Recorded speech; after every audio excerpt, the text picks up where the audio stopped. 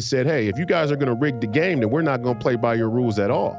And there's a part of me that respects that. And I understand it. I understand the, the line of thought. But those people have lost their way with God. They see this world and the result of this world as the final destination. And that's a problem. It's a problem spiritually, but it's also a problem practically. And it, that obscures your vision. And J.R. Smith and many people like him, these woke athletes, these people who vote Democrat, these women who are pro abortion, what they fail to see is the big picture. And the big picture is that liberalism, communism, and globalism all have the same exact aim, the same end goal. We've been lied to. We've been lied to into thinking that liberalism was this great break from the monarchy and globalism and imperialism. It wasn't. It was just a rebrand. Okay? The, and, and what both what all three aim to do is simple.